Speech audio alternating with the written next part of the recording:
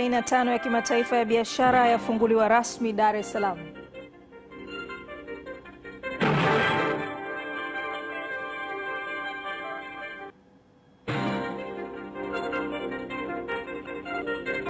Wawili wafariki dunia na 15 kulazwa hospitali kwa kula chakula chenye sumu harusini.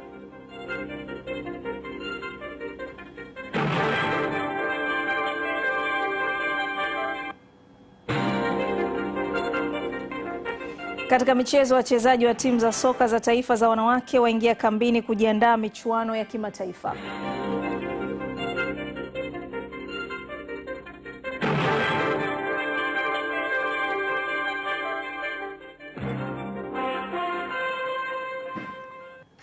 Habari za usiku watazamaji wetu popote pale mlipo. Hii ni taarifa ya habari kutoka hapa ITV. Mimi ni Juliet Robert, karibuni. Makamu wa Rais Dr. Philip Mpango amesema serikali haitafumbia macho wala kukaa kimya kwa taasisi au mamlaka zinazosababisha vikwazo, urasimu na kuongeza tozo ambazo zinasababisha biashara au kiwanda kufa kwa sababu ambazo zinaweza kuepukika na taifa kukosa mapato. Mwanahabari wetu Juma Kapalato anaripoti.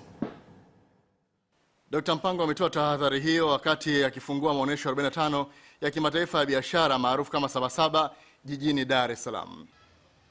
Na kwenye hili nataka niwathibitishie na kuwahakikishia kuwa Mheshimiwa Samia Suluhu Hassan, Rais wa Jamhuri ya Muungano wa Tanzania na serikali yake ya awamu ya sita haitaivumilia taasisi ya mtu yeyote ambaye atabainika kuwa kikwazo kwa wafanyabiashara na wawekezaji. Awali, waziri wa viwanda na biashara Profesa Kitila Mkumbo amesema serikali imepanga kuboresha zaidi maonyesho hayo kwa kujenga upya majengo kwa kuzingatia teknolojia ya kisasa. Wizara imepanga kufanya maboresho makubwa ya kimiundombinu katika kubadili sura ya maonyesho haya. Hii ni pamoja na ujenzi wa mabanda mapya ya maonyesho, kumbi za mikutano ya kibiashara na mifumo ya kidigitali ya uratibu. Maonyesho kutoka Zanzibar ni, ni zaidi ya taasisi na kampuni 62 ambazo ni, ni, ni, zipo ndani na nje ya banda letu la Zanzibar. Idadi ya washiriki kwa mwaka huu kutoka Zanzibar imeongezeka kutoka washiriki 51 wa mwaka jana. Kwa upande wao, baadhi ya washiriki walioshiriki maonyesho hayo yenye kauli mbiu inayosema uchumi wa viwanda kwa ukuzaji wa ajira na biashara endelevu wamesema na vile vile vijana hawa ambao wanakuja kujifunza mafunzo mbalimbali ndani ya Jeshi la Kujenga Taifa wanazalisha mazao ya kilimo mbalimbali mbali katika maeneo yetu, katika wa kule Chita kwenye makambi yetu ya jeshi, ndio vijana wale wanaotumika kuzalisha kulima na, na product zile zinauzwa zinaleta sokoni. Faida kubwa ya kuhakiki mita hizi ni kuhakikisha kwamba mita zinazofungwa viwandani au majumbani zinakuwa na usahihi ili kuhakikisha haki na usawa kati ya serikali ambayo ni TANESCO anauza umeme kwa mteja, lakini vile vile mwananchi analipia kiasi cha umeme ambacho kweli amekitumia. Kufunguliwa rasmi kwa maonyesho haya ya 45 ya Sabasaba yanatoa fursa sasa kwa wafanyabiashara hapa katika viwanja hivi kuendelea kutoa elimu kwa wananchi ambao wanahudhuria maonyesho haya. Juma Kapalatu, ITV, Dar es Salaam. Watoto wawili waliofahamika kwa majina ya Manyirizu Joseph miaka sita na Berita Mateso miaka mitano, wakazi wa kata ya Ikobe wilayani Mbongwe mkoani Geita wamefariki dunia huku wengine kumi na tano wakikimbizwa hospitali wakidaiwa kula chakula chenye sumu kwenye sherehe ya harusi ya jirani yao. Kutoka Mbogwe mkoani Geita, Basil Elias anaripoti.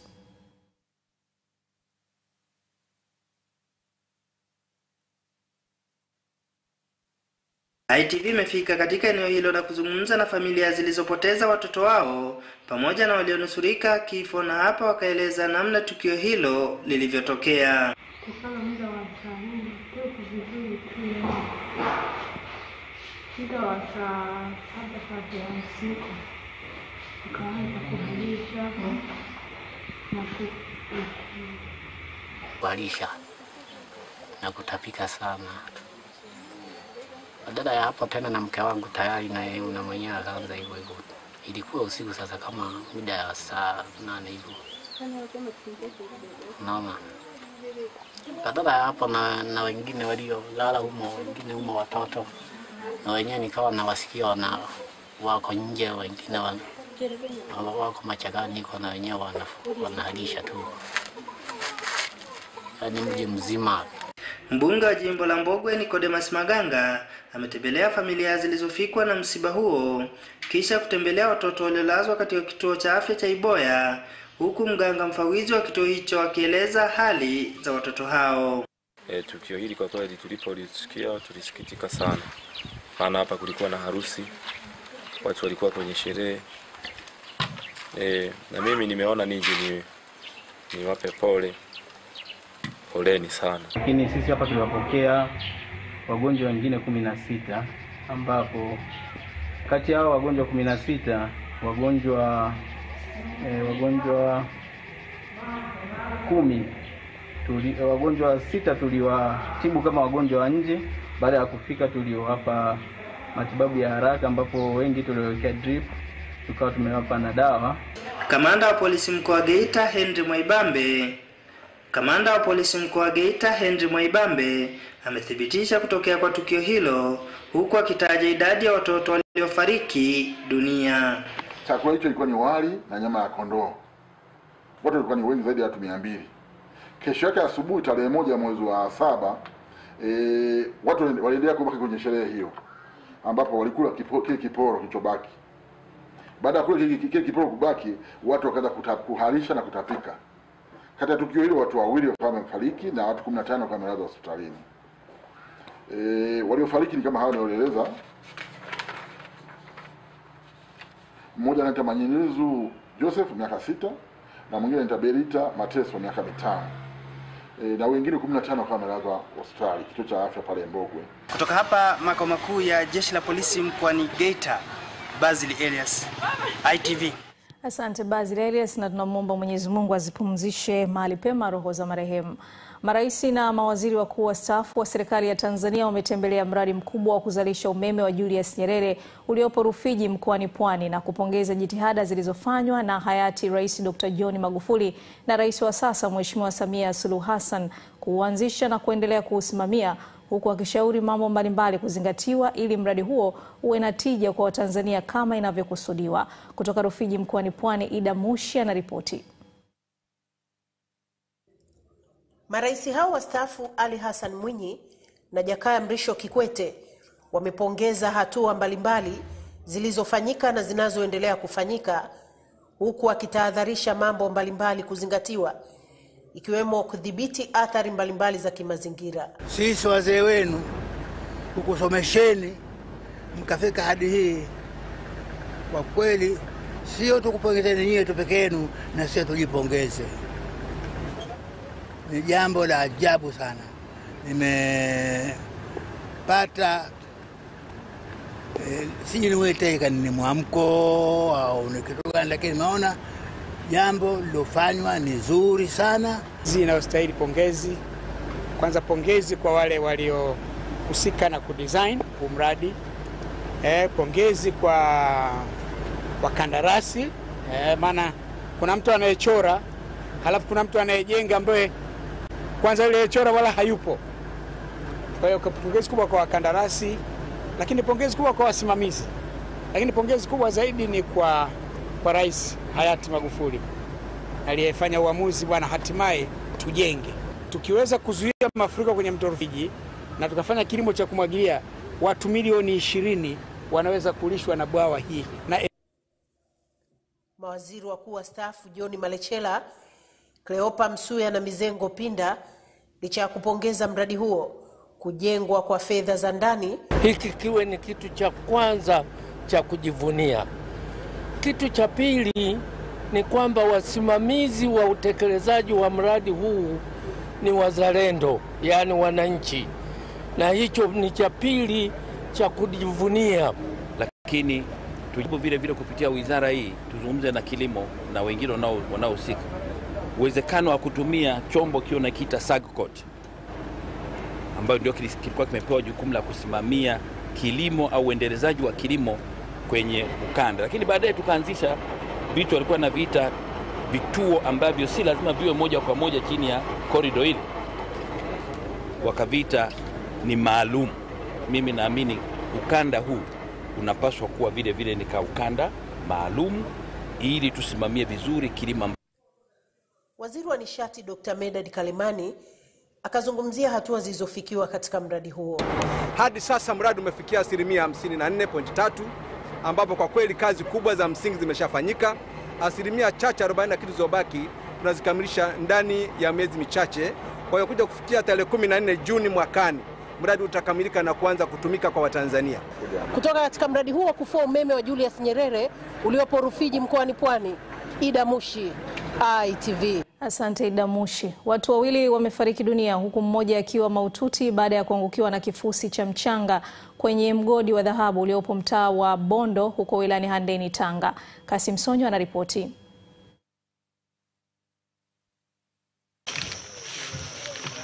Akielezea tukio hili baada ya kamati ya ulinzi na usalama kufika kwenye eneo la tukio, mkurugenzi wa kampuni ya Adalt Company inayojihusisha na uchimbaji wa madini Mike Kisaka amesema kuna watu baada ya kuchimba hivyo wakaona vein. Kwa hiyo vijana baada ya kuona ule mwamba wakashuka. Wakati wanafanya hivyo, ardhi ikaanguka.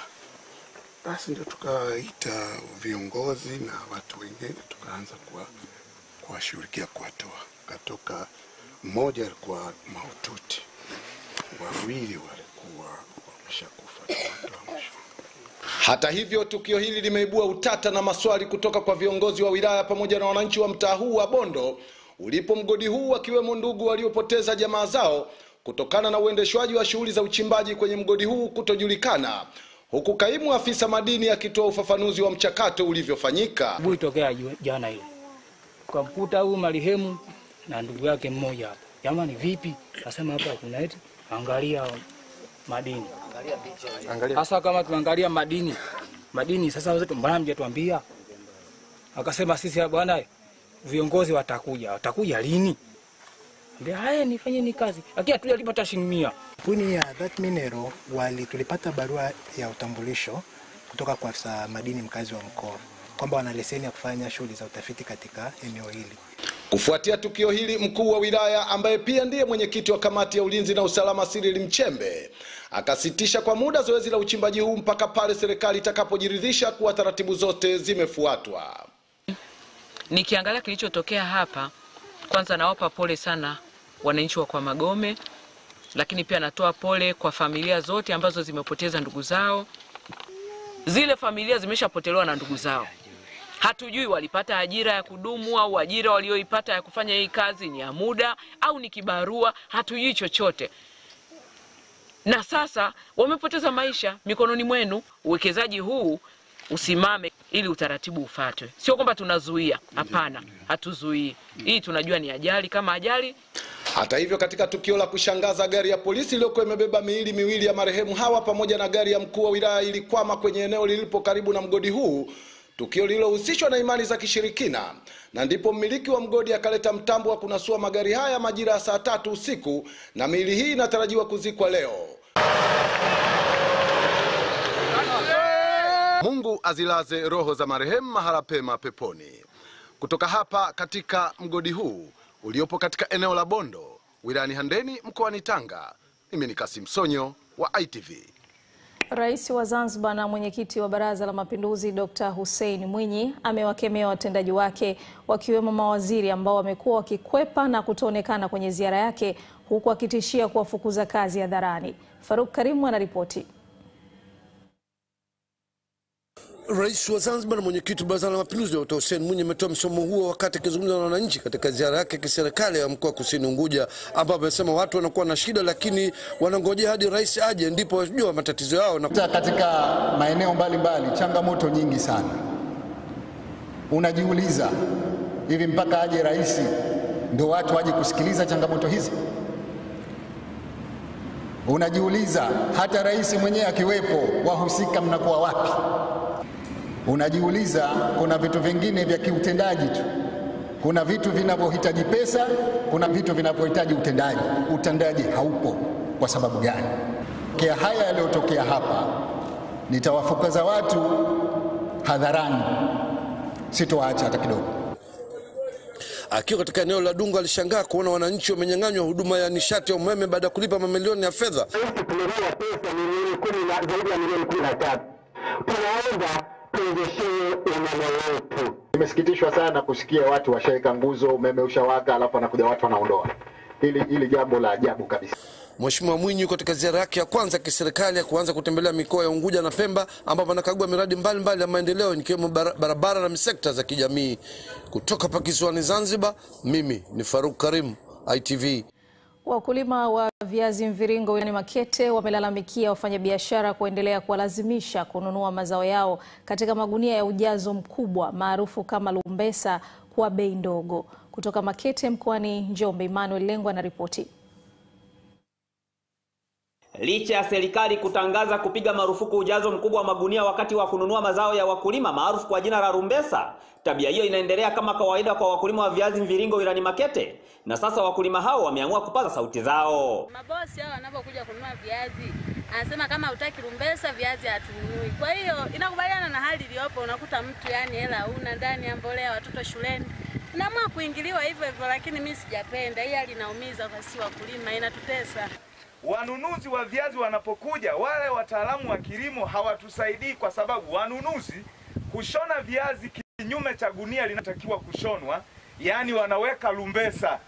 Kile cha juu ambacho kiko nje ya gunia kiko tofauti na mbolea. Mbolea haina lumbesa. Baadhi ya wanunuzi wa viazi mviringo Irani Makete wamesema wanaendelea kutumia lumbesa kutokana na biashara ya viazi kuwa ngumu sokoni, lakini pia hawaoni sababu ya kuacha kununua viazi vya wakulima kwa kutumia lumbesa, kwa vile halmashauri imegeuza lumbesa kuwa chanzo cha mapato kwa kuwatoza ushuru maalum kwa ajili ya ujazo huo. Ni kweli serikali wanapenda kutamka vitu, lakini sio kwenye utekelezaji.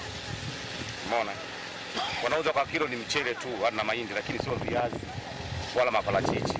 Afisa kilimo wa wilaya ya Makete Silvester Lucas Mbawara anakiri kuwa rumbesa imekwisha pigwa marufuku wilayani humo ingawa bado inaendelea, huku mkurugenzi wa halmashauri ya wilaya ya Makete Francis na Maumbo akizungumzia tuhuma za halmashauri kugeuza rumbesa kuwa chanzo cha mapato. Serikali imeshasema kwamba rumbesa ni marufuku. Wao wanapoona mchuuzi yule ananunua afu anajaza kwa bei kubwa, wanaweza wakafanya ni wakakataa, wakatoa taarifa wapi. Lakini sasa hivi unakuta mkulima anafanya nini? Analizika tu. wangekuwa wanatafuta usawa na haki wasingejaza hiyo lumbesa.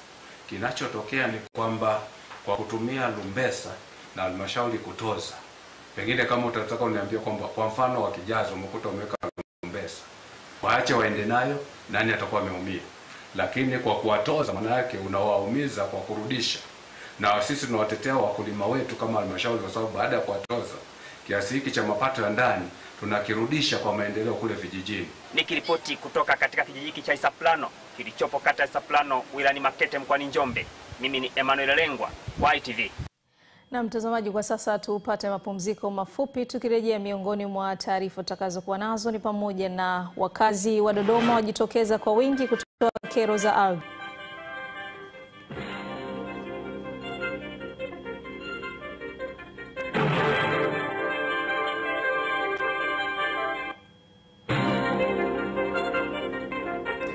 Na wanaharakati Uganda watia shaka msaada wa serikali kwa watu maskini.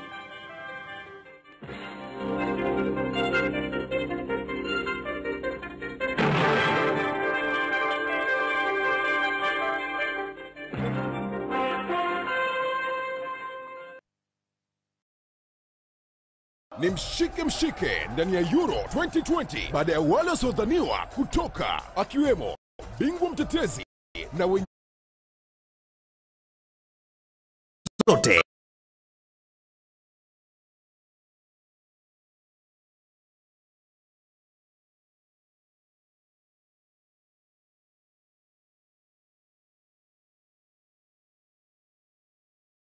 Kwanza kupata habari za kila aina kupitia chaneli yetu ya YouTube ITV Tanzania. Cha kufanya, ingia YouTube halafu tafuta chaneli yetu ITV Tanzania. Usisahau kubonyeza subscribe ili uweze kuunganishwa nasi kwa taarifa zetu zote. Uhu.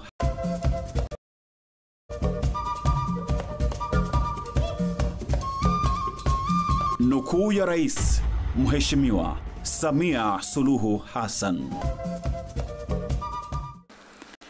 kama inavyosemwa, nimeanza vizuri.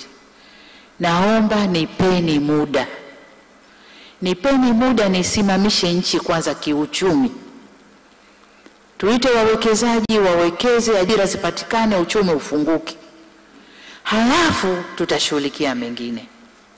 Tutashughulikia katiba, tutashughulikia hiyo mikutano ya, ya hadhara wakati ukifika, lakini kwa sasa hivi tunaruhusu vyama vya siasa kufanya mikutano na watu wao, na nadhani mnaona ni mikutano ya ndani, kamati kuu zinakaa, uh, halmashauri kuu za, za vyama vya siasa vinakaa, wabunge kwenye maeneo yao wako huru kufanya mikutano ya hadhara kwenye maeneo yao, lakini sio mbunge atoke eneo lake aende akafanye mkutano hadhara kwa mwenziwe. Aa, katika maeneo yao wako huru kufanya mikutano ya kisiasa, lakini ile yeye yeye yeye ingieni haya.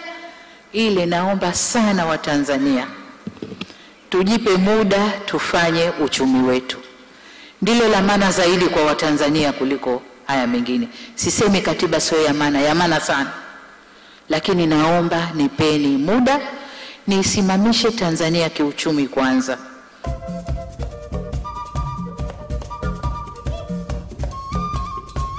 Nukuu ya Rais Mheshimiwa Samia Suluhu Hassan.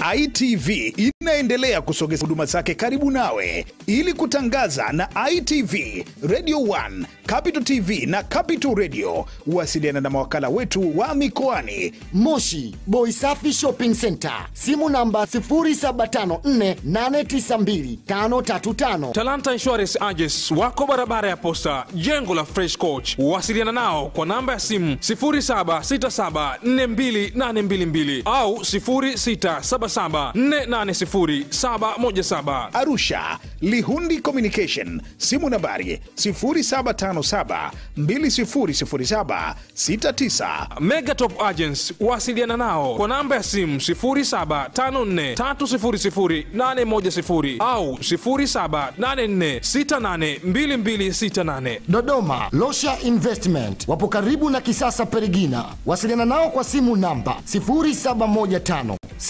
603376 au 0784950300. City Boys Electronics 075481 6000 au 0754773078. Wapo mtaa wa Independent Square Dodoma. Mwanza Mwana Leonard Company Limited, simu nambari 0754963333 na 0753939193.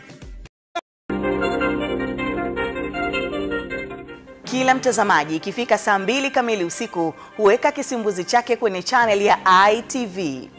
Kiti hiki nilichokalia ndicho humaliza kiu yako kwa kufahamu kila kilichojiri nchini katika habari za siasa, uchumi na biashara, michezo na burudani. Wawakilishi wetu walio nje ya mipaka ya Tanzania hawalali usiku na mchana kuhakikisha kila kinachotokea nchi za Rwanda, Burundi, Kenya, Uganda na DRC kinakufikia haraka kikiwa kimefanyiwa utafiti wa kina. Taarifa ya habari na ITV kila Jumatatu mpaka Jumapili saa mbili kamili usiku. Usikose. ITV Daima, Super Brand Afrika Mashariki. Habari za saa. Jiji letu hapa na pale. Habari saa mbili na saa tano usiku. Habari hizo zote unazipata mubashara kupitia Facebook at ITV Tanzania na YouTube ITV Tanzania. Zote ni kiganjani mwako, kompyuta na kompyuta mpakato. ITV Daima, Super Brand Afrika Mashariki. Ah, sulu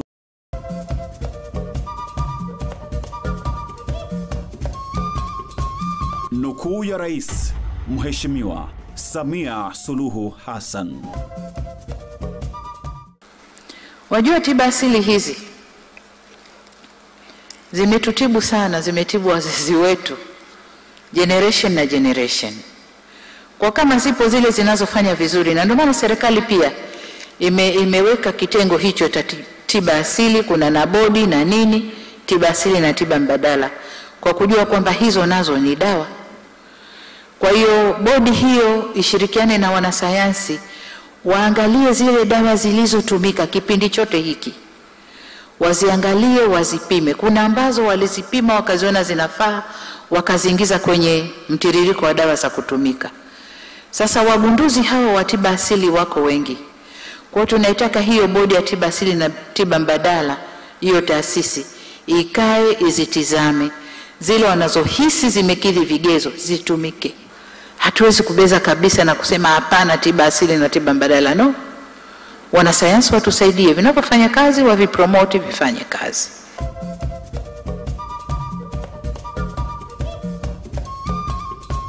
Nukuu ya Rais Mheshimiwa Samia Suluhu Hassan.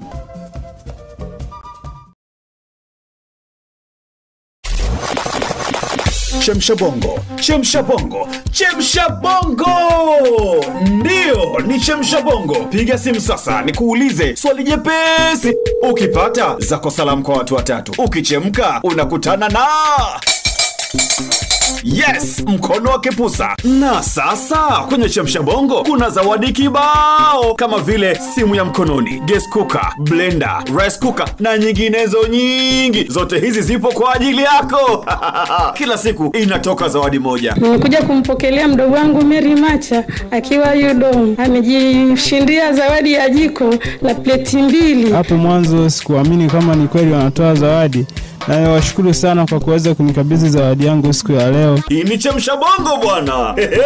Chemsha bongo kila Jumamosi kuanzia saa mbili na robo usiku hapa Radio 1. Hakika kipindi ni kizuri na maswali hakika yanaulizwa ni yale kabisa yaliyopo katika jamii zetu. Twende kazi sasa, chemsha bongo.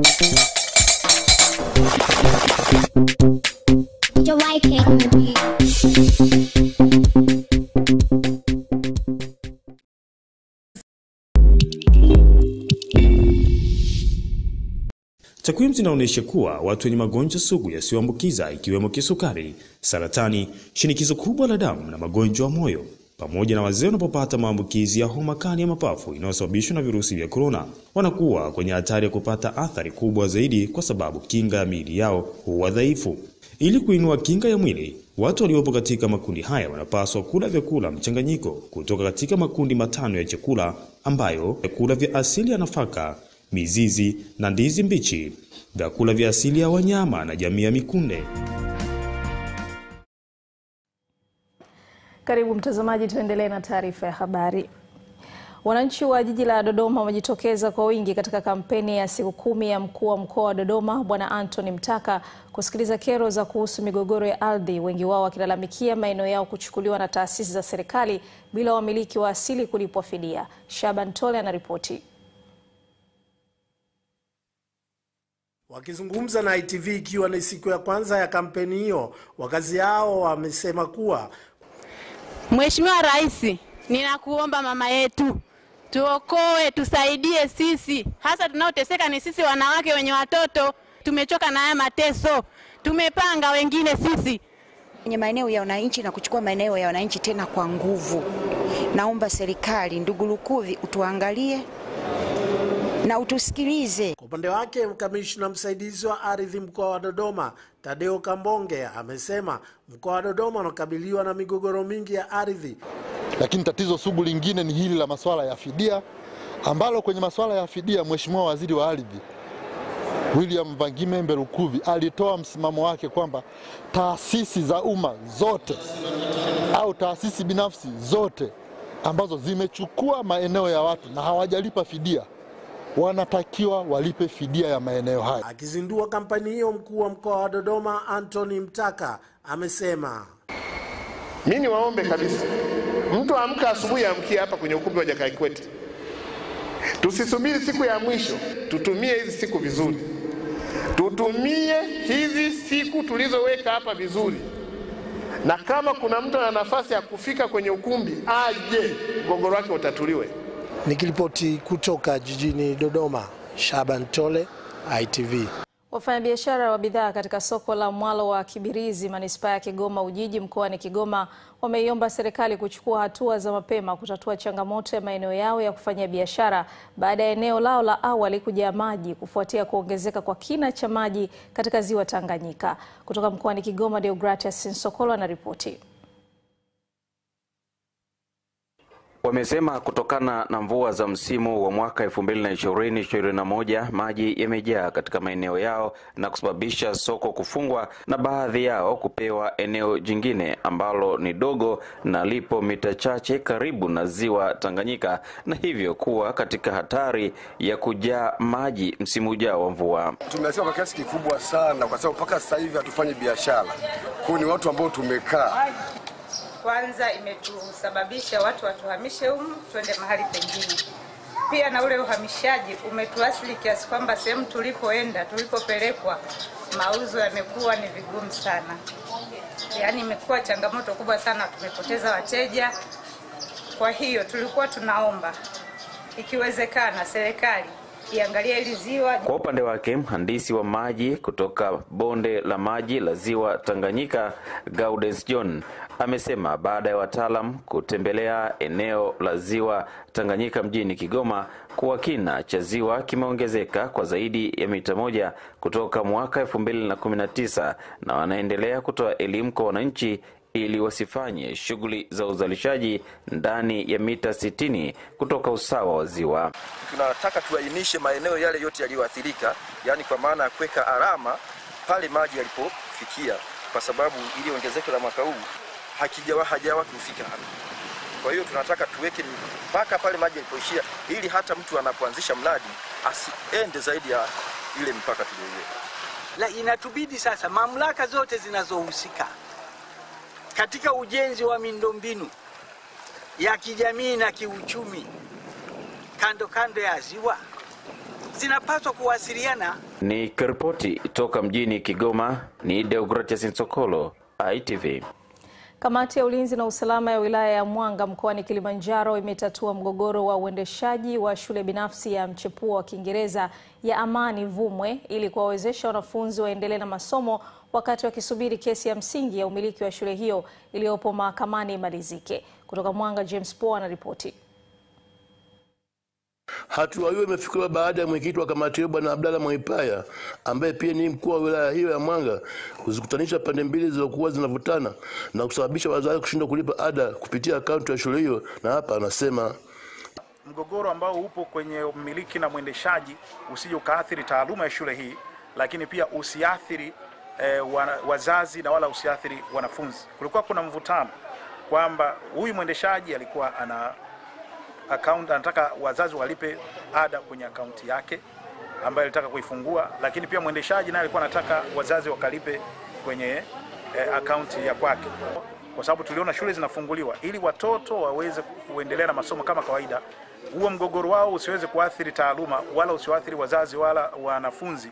Tukaona tuwaite siku ya Ijumaa tukaongea nao, na kwa uwezo wa Mwenyezi Mungu tunashukuru kwamba tulifikia mwafaka. Chini ya makubaliano hayo, akaunti ya shule hiyo itaendelea kutumika ya awali ambayo ilikuwa chini ya mwanzilishi wa shule hiyo Amani Vumwe, ambaye atakuwa mweka saini na meneja wa shule Bwana Furaini Msuya, ambaye atatafuta mwakilishi wa kuweka saini wakati wa kusubiri kesi imalizike. Uh, tumefungua shule leo tarehe tano mwezi wa saba. Uh, na hali iko vizuri, tumepokea wanafunzi na masomo yanaendelea kama kawaida. Tunatamani sana hii migogoro mitoe nje ya shule kama ambavyo mlikubaliana wakati mkiwa nje ya shule, baadaye tukaitwa tukuelezwa. Kwa hiyo natamani kwamba hata hii migogoro mkitoa nje ya shule, ile shule iendelee na walimu waendelee kutoa huduma kwa wanafunzi wetu na sisi tuendelee kulipa ada kama kawaida. Kutoka eneo la halmashauri la Mwanga mkoani Kilimanjaro, mimi James Paul wa ITV. Waziri wa Ujenzi Mhandisi Dr. Leonard Chamuriho ameongoza mazishi ya aliyekuwa mtendaji mkuu wa wakala wa barabara TANROADS Mhandisi Patrick Mfugale, huku baadhi ya viongozi na waombolezaji wakimwelezea kuwa mzalendo wa kweli aliyeijua vema kazi yake. Silvanus Kigomba na taarifa zaidi. Mazishi hayo yamefanyika katika kijiji cha Ifunda kwenye makaburi ya familia yaliyopo katika eneo la ihaga ambako Dr. Chamuriho amesema tumesikia mambo mengi ambayo yamesemwa pamoja na wawakilishi mbalimbali hapa.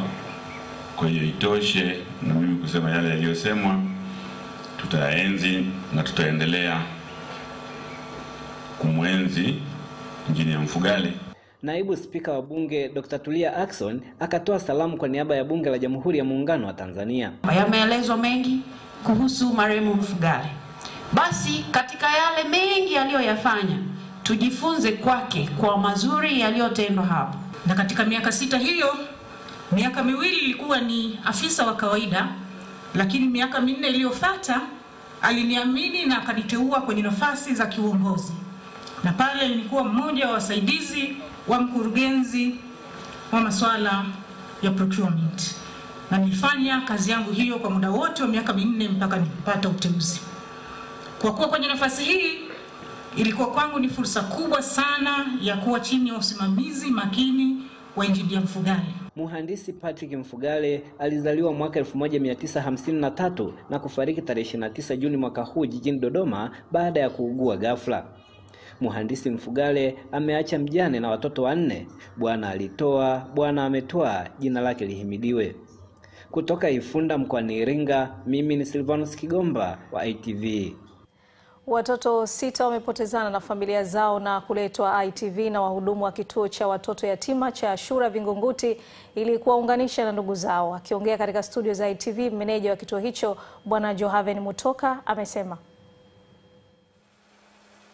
Uh, nimekuja na mwenzangu anaitwa Sifa Segesela.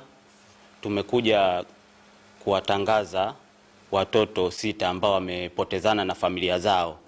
Watoto hao kwa majina ni Shamila Ahmadi, Rajabu Abasi Matola, Samson Paskari, Samili Suleimani, Abdurazak Ramadhani na Ismaili Sef. Kwa, kwa yeyote ambaye ana ambaye ni, ni, wa, ni wazazi wa hao watoto au ndugu au mtu ambaye anafahamiana na hao watoto, basi tunaomba apige simu kwa namba zifuatazo 0784386297, 0625271802. Tunaomba sana ushirikiano wenu ili hawa watoto tuweze kuwaunganisha na familia zao. Serikali ya Kenya imewahakikishia wananchi kwamba uchaguzi mkuu wa mwaka 2022 utaandaliwa kwa njia ya amani na katika mazingira yanayofaa huku mikakati ikiwekwa kuzuia vurugu kama zilizoshuhudiwa kwenye uchaguzi za awali. Kutoka Nairobi, Duncan Maichi anaripoti. Idara za usalama nchini Kenya zinaendelea kuweka mikakati ya kiusalama kuelekea kwenye uchaguzi mkuu wa mwaka ujao wa 2022. Waziri wa usalama wa kitaifa Fred Matiang'i akisema vitengo vya usalama vimejiandaa kulinda usalama vilivyo kuliko ilivyokuwa wakati wa chaguzi za mwaka 2013 na mwaka 2017. We are better prepared now and uh, better organized now than we were. Tumejitayarisha vilivyo kwa sasa kuliko ilivyokuwa hapo awali. Tutakuwa na idara mbalimbali za usalama zikiongozwa naye katibu wa maswala ya ndani ambazo zitakuwa zinakutana kuanzia wiki ijayo kujitayarisha kwa uchaguzi mkuu. Zaidi ya watu hamsini wa walipoteza maisha yao mwaka 2017 baada ya kushuhudiwa makabiliano kati ya wananchi na polisi kuelekea na wakati wa uchaguzi ambao ulirudiwa baada ya kufutiliwa mbali na mahakama. Nikiripoti kutoka jijini Nairobi, jina langu ni Duncan Maichi ITV. Kundi la wanaharakati wa kisiasa nchini Uganda linalowajumuisha wabunge limeeleza wasiwasi kuhusu mfumo unaotumika na serikali kuwapa msaada wa fedha watu masikini wanaoathirika na marufuku ya kudhibiti kusambaa kwa virusi vya korona. Kutoka Kampala, John Ojambo anaripoti. Serikali mwishoni mwa mwezi uliopita ilitangaza kwamba kila familia maskini nchini humo itapokea shilingi elfu mia moja sawa na dola 28 kama msaada wa muda kugharamia mahitaji ya nyumbani wakati nchi hiyo ikipambana na wimbi la pili la maambukizi ya korona. Licha ya tangazo hilo kurejesha tabasamu miongoni mwa wanaotegemea pato la kila siku kukimwa mahitaji muhimu, Wasiwasi kwamba huenda mpango huo ukawanufaisha wachache umeendelea kuibuka nchini. Ronald Balimwenzo, mbunge wa divisheni ya Nakawa inayotoa hifadhi kwa watu zaidi ya laki mbili, anasema kwamba mpango huo hauna uwazi wala uwajibikaji. It's very unfortunate that we have been left out. We are the people who can actually determine and find out and who can Inasikitisha kwamba viongozi wanaoelewa na kuwafahamu watu wa maeneo yao wametengwa. Sina ufahamu ni mfumo upi huu unaotumika kuwatambua watu maskini. Swala hilo linajitokeza wakati idadi ya maambukizi yakionekana kupungua katika baadhi ya maeneo kama vile Kampala, idadi ya wanaopokea matibabu ikiwa bado ni ya juu. Nikiripotia ITV kutoka Kampala, mimi ni John Ojambo. Na mtazamaji, sasa tuangalie maoni ya wananchi waliojibu swali la kipima joto lililohoji miongozo mipya kukabiliana na ugonjwa wa virusi vya korona kwa wanafunzi. Je, shule na taasisi za elimu vimejiandaa kuutekeleza? Tuanzie katika mtandao wa WhatsApp. Fikiri shule na baadhi ya taasisi za elimu zimejiandaa kwa sababu matangazo na elimu tofauti tofauti imekuwa ikitolewa namna ya kujikinga ili kuepukana na maambukizi mapya ya ugonjwa huu. Kwa hiyo nafikiri taasisi na shule pia zizingatie namna ya kujikinga na ugonjwa huu ili usienee mashuleni. Uh, serikali imejitahidi sana kuweza kutoa miongozo mipya hii ya kukabiliana na ugonjwa huu wa virusi vya korona, na taasisi nyingi yani serikali, shule pamoja na taasisi zingine zimejiandaa, kwa sababu hapo awali ilikuwa inatawala sana hofu. Kwa hiyo hiyo hofu sasa hivi haipo. Serikali imejitahidi sana ku- ku- kutekeleza kwa kwa kuweza kuwashirikisha na kuwapa taarifa mapema. Kwa hiyo imeji- zimejiandaa vizuri sana. Kuchangia swali la kipima joto kupitia WhatsApp unaweza kujirekodi alafu tuma picha na sauti ukitaja jina lako, mahali ulipo na kujibu swali moja kwa moja kwa kutumia namba ya 0678959752 na maoneo yatarushwa ITV, Instagram na YouTube. Kwenye mitandao mingine Facebook anaitwa Jangala Bugumba wa Mwanzugi Gunga. Hapana, shule na taasisi za elimu bado hawajajiandaa kukabiliana na janga la korona. Cha msingi, wizara husika inatakiwa kusimamia na kutekeleza kwa vitendo ili kuokoa maisha ya wanafunzi. Twitter anaitwa Shukuru Nseke, Nsekerabandia anatokea Kaibanja, Bukoba. Binafsi naona bado hazijajiandaa kutekeleza miongozo hiyo, maana hakuna nyenzo za kusaidia utekelezaji wake. Shukrani kwa waliotuandikia. Mtazamaji, tunapata mapumziko mafupi, tukirejea ni biashara.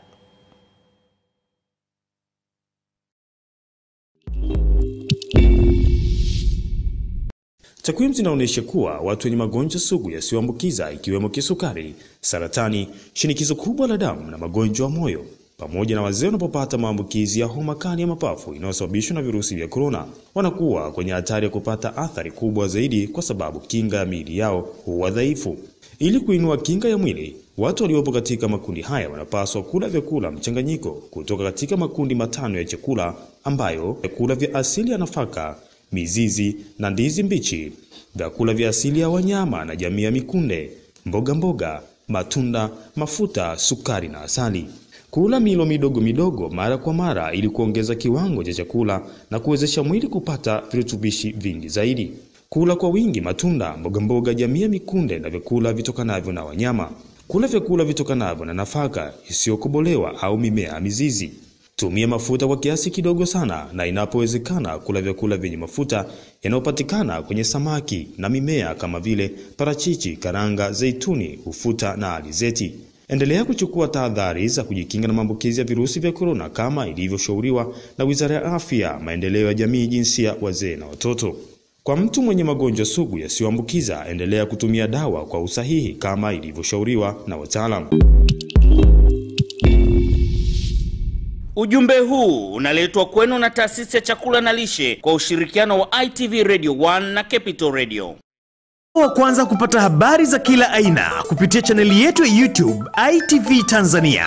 Cha kufanya, ingia YouTube halafu tafuta chaneli yetu ITV Tanzania. Usisahau kubonyeza subscribe ili uweze kuunganishwa nasi kwa taarifa zetu zote.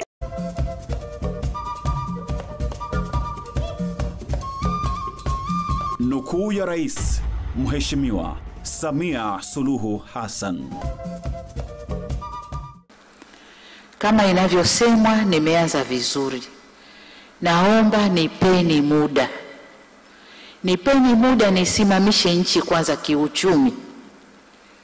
Tuite wawekezaji wawekeze, ajira zipatikane, uchumi ufunguke, halafu tutashughulikia mengine.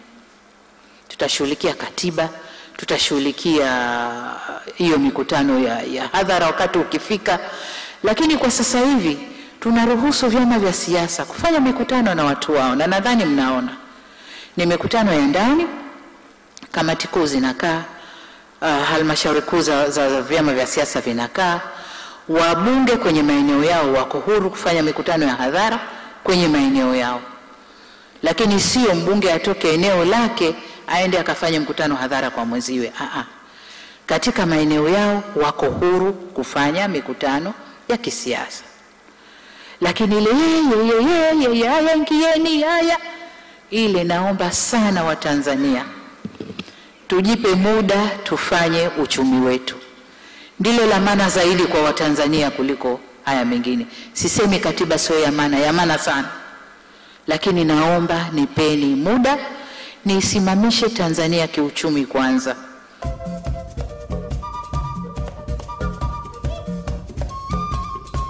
Nukuu ya Rais Mheshimiwa Samia Suluhu Hassan. ITV inaendelea kusogeza huduma zake karibu nawe ili kutangaza na ITV Radio 1, Capital TV na Capital Radio. Wasiliana na mawakala wetu wa mikoani Moshi,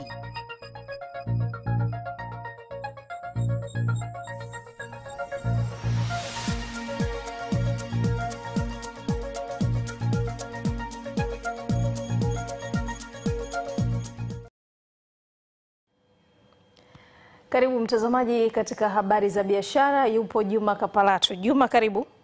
Asante sana Juliet Robert. Habari za usiku mtazamaji, karibu katika habari za biashara, ambapo nia ya serikali ya uboreshaji wa sera na sheria za uwekezaji hapa nchini sawia na kuhimiza mazingira rafiki ya biashara na uwekezaji imechangia kiasi kikubwa kuanza kupokea maombi ya miradi mbalimbali mbali ya uwekezaji hapa nchini. mtu ambaye ni ana, ana mradi ambao ni wa ndani local, local investment ana ile kile kiwango cha kuwekeza kiko chini zaidi kuliko mwekezaji ambaye ni mgeni kabisa, ambaye anatakiwa awekeze, mgeni anatakiwa awekeze au na kiwango kisichozidi kisichopungua laki tano dola za Kimarekani, lakini kama ni, ni, ni, ni local investor anatakiwa kuwa na isiyopungua dola laki moja lakini hiyo dola laki moja au dola laki tano sio kwamba awe nazo wakati huo. Anatakiwa tuonyeshe mpango ambao unaonyesha kwamba ndani ya kile kipindi cha utekelezaji atakuwa na thamani ya mradi ambayo inafikia kiasi hicho. Na Wizara ya Kilimo imefanikiwa kusajili wakulima milioni moja laki tisa sabini na tisa elfu mia sita sitini na mbili na maafisa ugani elfu sita mia nane arobaini kupitia mfumo wa kielektroniki wa M Kilimo ili kuongeza wigo wa kuwahudumia wakulima na kukuza uchumi kupitia kilimo biashara. Kwa ukishaandika hitaji lako la ushauri utaeleza aidha nimeshambuliwa na wadudu shambani. Uta, uta, uta, uta, utasukuma hiyo message kwenda and then uta, ile message itakwenda kwa afisa kilimo wako aidha wakata. Wizara baada ya ile wasilisho iliona kwamba ni, ni kitu kizuri, ikaona kwamba ni vizuri kutumia huu mfumo uweze kutusaidia kuweza kupunguza ule upungufu wa maafisa ugani ambao tulikuwa nao Baada ya kufanya utafiti mwaka 2013 katika mkoa wa Mara na mkoa wa Kagera, tuligundua kwamba wananchi wanataka taarifa nyingi za kilimo ziwafikie karibu zaidi kuliko ambavyo kwa zinafikia kupitia zile World Resource Centers. Mwisho habari za biashara na uchumi, kwako Juliet Robert. Asante Kapalatu. Asante sana. Na mtazamaji, punde baada ya matangazo ni habari za michezo na burudani.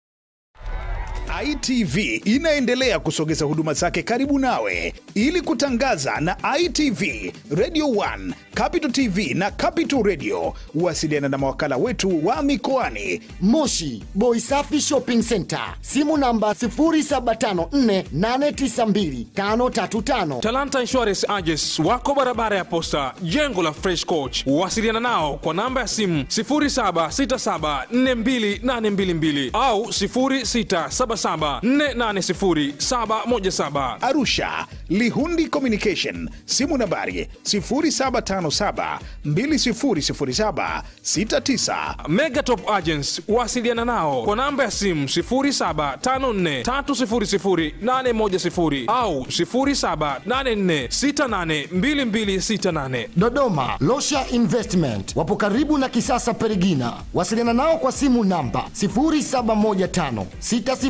0715603376 au 0784950300. City Boys Electronics 075481 6000 au 0754773078. Wapo mtaa wa Independent Square Dodoma. Mwanza, Mwana Leonard Company Limited, simu nambari 0754963333 na 0753939193.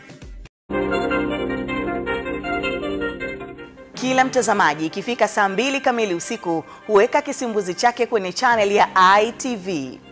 Kiti hiki nilichokalia ndicho humaliza kiu yako kwa kufahamu kila kilichojiri nchini katika habari za siasa, uchumi na biashara, michezo na burudani.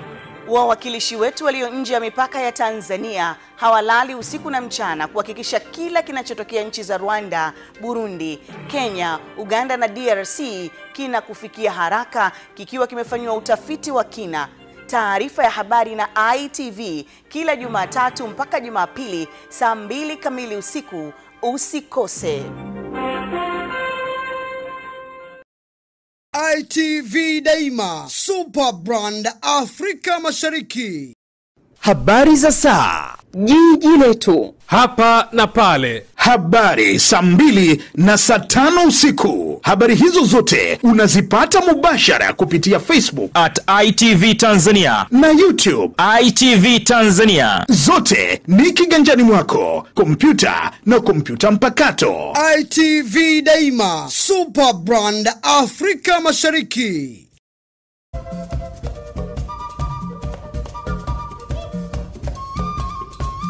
Nukuu ya Rais Mheshimiwa Samia Suluhu Hassan.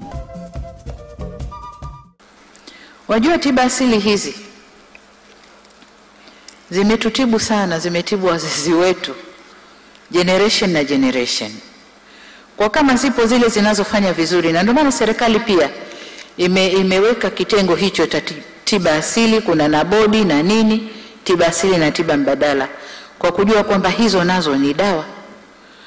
Kwa hiyo bodi hiyo ishirikiane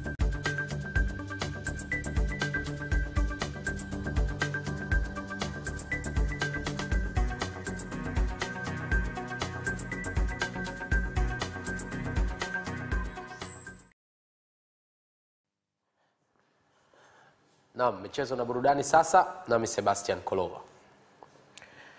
Wachezaji wa timu za soka za taifa za wanawake wameanza kambi ya wiki mbili kujiandaa na mashindano ya Sekafa chini ya miaka 20, mashindano ya kufuzu mataifa ya Afrika, kombe la dunia pamoja na mashindano ya Kosafa ambayo yatafanyika mwezi Septemba na Oktoba nchini Uganda na Afrika Kusini. E, kila wakati timu ikiingia kambini itagusa matabaka aidha mawili ama yote matatu. Kwa hiyo e, hivi sasa tumeingia na takriban matabaka yote matatu, kwa sababu kuna wachezaji ambao tumeona kwenye ligi ya kwanza. E, tumewaita hapa tuweze kuwaona vizuri. E, kile ambacho tumekiona kule kinaweza kutusaidia ama tunaweza kuwashape namna gani kuingia katika timu zetu either ya under 17 ama 20 ama senior team, lakini the rest wengine e, ni wale wale ambao wamezoea kila siku eh, kwenye mwendelezo wa kambi zetu. Kwa hiyo maingizo ni machache sana kuliko wale ambao wamezoeleka kucheza eh, isipokuwa wachezaji wa klabu ya Simba eh, hatukuona busara kuwajumuisha kwenye hii kambi yetu eh, kwa sababu wenyewe wana jukumu zito, wana jukumu la kuwakilisha Simba ama Tanzania kwenye mashindano ya Champions League ambayo yatafanyika mapema mwezi huu wa saba. Naibu Waziri wa Habari, Utamaduni, Sanaa na Michezo Paulina Gekul amesema kuwa serikali imejipanga kuboresha michezo mbalimbali nchini kwa kutumia mfuko wa michezo ikiwemo mchezo wa riadha ambao umekuwa ukiwakilisha vyema nchi kimataifa. Ferdinand Shayo anaripoti kutoka Manyara. Zungumza na ITV mjini Babati mkoani Manyara, naibu waziri wa habari, sanaa, utamaduni na michezo Paulina Gekul anaeleza mikakati ya serikali katika kuboresha michezo hususan mchezo wa riadha. Kwa hiyo mikakati ipo ya kuboresha pia riadha. Kutana bajeti imeshaisha, tunakutana kama wizara kuzungumza michezo ile ambayo inafanya vizuri. Mfano, mpira wa miguu unapendwa sana na watu wengi, lakini angalia kimataifa tunafanya vizuri. mikoa ambayo ina, ina, ina, ina, ina, ina vipaji vile halisi vya, vya wanamichezo bado imekuwa haipewi kipaumbele sana, ama unakuta wanamichezo wake wengi wanaondoka kwenda kutafuta maisha sehemu nyingine. Kwa hiyo nafikiri inatakiwa mjadala wa pamoja. Kutoka wilayani Babati mkoani Manyara, mimi ni mwanaspoti wako Ferdinand Shayo wa ITV. Asante Fred. KMC wametamba kuwa hawatokubali kuwa uh, daraja la ubingwa wa Simba watakapokutana Julai saba uh, kwenye mchezo wa ligi kuu, lakini pia wamekanusha kushawishiwa na Simba kurudisha mchezo Dar es Salaam. omba tupeleke mchezo Songea. Tuliandika barua mapema vile vile kubadilisha tena tukachezee Songea. Lengo ni lile lile la kuweza kuona kwamba kwanza tuwapelekee burudani wanasongea, wananchi wa Songea na wenyewe waweze kufurahi, lakini vile vile tuangalia na mapato. Lakini baadaye bodi ya ligi walitukatalia kwamba tulikuwa tumeshahamisha Mwanza, kwa hiyo lazima turudie Mwanza. kwa ni mawili, mrudie katika uwanja wenu au nendeni Mwanza. Sasa tukaona Mwanza tulikuwa tunafuata ni mapato, lakini tumeona Simba imeshacheza pale mara mbili tukipeleka tena kule tutakuwa tunasumbuka bure. Basi waturudishie tu hapa Dar es Salaam. Kwa ni sisi ndo tuliomba mchezo tuchezee Dar es Salaam, sio Simba. Wachezaji nane wa wheelchair tennis wameteuliwa kupeperusha bendera ya Tanzania kwenye mashindano yatakayofanyika Septemba mwaka huu Afrika Kusini, huku wakiambatana na wachezaji wawili wenye umri, uh, wenye umri chini ya miaka 12. Ukiangalia kusema kweli kwamba bado tuna wachezaji wengi ambao tunahitaji wacheze, lakini katika mashindano haya ambayo yanaelekea South Africa tumewachagua wachezaji hao kwa sababu kwanza kifedha, pili ni viwango na tatu bado tunawafua wako wengi, na takriban tuna wachezaji karibu ni 60 ambao wanacheza mchezo wa wheelchair tennis, lakini hatuwezi kupeleka wote kutokana na mazingira ya kifedha. Tunahitaji support kutoka kwa makampuni, wadau wa mchezo. Najua Watanzania wanapenda michezo kwa, kwa swala kama hili, na tunawakaribisha kusupport timu ya wheelchair tennis. Kwa kweli namshukuru Mungu, maandalizi ni mazuri, hasa kocha wetu anatufanyisha mazoezi vizuri kutokana na yale ambao tulipotoka Uturuki tumejifunza mengi, tumekosea mengi. Kwa kocha anajitahidi kwa kadri anavyoweza kwa kutusaisha yale makosa. Neema ya bahati nasibu ya Biko imemwangukia Josephat Yusuf wa Chamwino jijini Dodoma baada ya kushinda laki moja kutoka kwenye draw za papo kwa hapo zinazofanyika kila, kila baada ya dakika moja na kutoa washindi wengi zaidi. Nilicheza Biko. Baada ya kucheza Biko nilishtukia mapesa Ah, laki moja. Kweli hiyo laki moja niliyoipata lazima ninunue mbuzi kwa ajili ya ufunguzi wa Biko. Ndugu zangu wa Tanzania, chezeni Biko. Biko sio uongo, ni ukweli tu. Kimataifa, mkurugenzi wa Tottenham Fabio Paratici amesema lengo lao ni kuhakikisha Harry Kane anabaki. Kane ameshaambia timu hiyo kuwa anataka kuondoka na tayari Manchester City wameshatangaza dau la kutaka kumnunua, lakini ana, uh, Kane ana mkataba na Spurs mpaka mwaka 2024. Tamati ya habari za mchezo na burudani, Juliet. Asante Sebastian, usiku mwema. Nawe pia. Asante sana mtazamaji. Sasa karibu katika swali la kipima joto ambalo linahoji watendaji wanaokwepa ziara za viongozi wa juu kwenye maeneo yao, je, ni wababaishaji? Kabla ya kukamilisha taarifa ya habari, huwapa tena ni muhtasari wake. Maonyesho 45 ya kimataifa ya biashara yafunguliwa rasmi Dar es Salaam. Wawili wafariki dunia na 15 kulazwa hospitali kwa kula chakula chenye sumu harusini. Na katika michezo, wachezaji wa timu ya soka za taifa za wanawake waingia kambini kujiandaa na michezo ya kimataifa. Na sasa mtazamaji, tuangalie kibonzo cha leo kutoka kwake Nathan Mpangala. Mtu kwao, mtu kwao, mtu kwao.